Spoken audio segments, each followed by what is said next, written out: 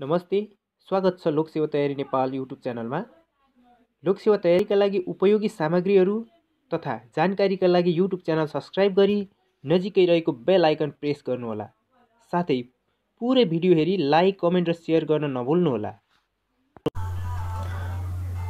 नेपालमा आयोजना कार्यान्वयनमा देखिएका समस्या पहिचान गरी सुझाव दिनुहोस्। वस्तु तथा सेवाको उत्पादन तथा वितरण गरी मुलुकको आर्थिक सामाजिक रूपान्तरण गर्ने माध्यम आयोजना हो। नेपालमा आयोजना कार्यान्वयन गर्न सम्बन्धित आयोजना प्रमुख तथा मन्त्रालयलाई बढी जिम्मेवार बनाइएको छ। राष्ट्रिय आय योजना आयोग र अर्थ मन्त्रालय पनि यसमा क्रियाशील छन्।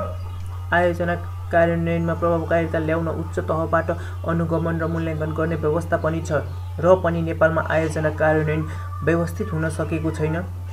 यसमा विभिन्न समस्या देखिएका छन् जसलाई निम्नानुसार उल्लेख गर्न सकिन्छ।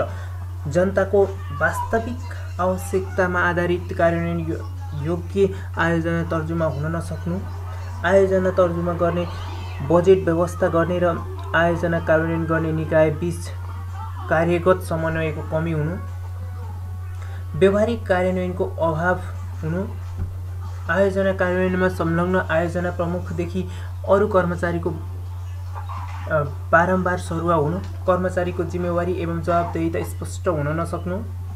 ऐन नियमको पूर्ण परिपालना हुन नसक्नु ठेकापट्टा एवं खरिद कार्य समयमा हुन नसक्नु स्थानीय सरकारवाला जनताको सहकारिता पर्याप्त नगराउनु अनुगमन गर्न कार्य प्रगति मापन सूचकहरू तर्जुमा नगर्नु अनुगमन गर्ने कार्य प्रभावकारी हुन नसक्नु सुझाव आयोजना कार्यान्वयन कार्ययोजना तर्जुमा गरी लागू गर्ने प्रत्येक कर्मचारीको भूमिका स्पष्ट गर्ने आयोजना अवधिभर संलग्न कर्मचारीको सरुवा नगर्ने ऐन नियमको पूर्ण पारिपाला परिपालना गर्ने गरी अनुशासन कायम गर्ने साधन स्रोत र कार्यविधिको व्यवस्था गर्ने कार्यान्वयन कार्यान्वयन स्थलमा समयमै बजेट व्यवस्थापन गर्ने आयोजना तर्जुमा तथा कार्यान्वयनदेखि मर्मसम्म महत्त्वसम्म सरकारवालाको सक्रिय सहभागिता गराउने।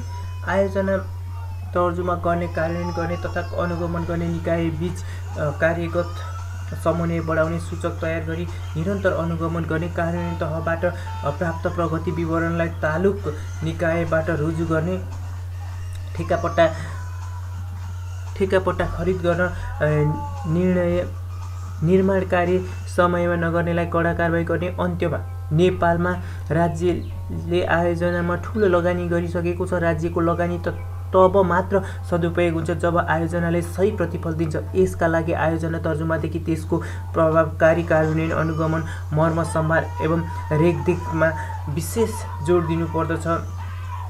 राष्ट्रिय आवश्यकता तथा प्राथमिकताका आयोजना तर्जुमा गर्नुपर्दछ। जनताको सहभागितालाई थप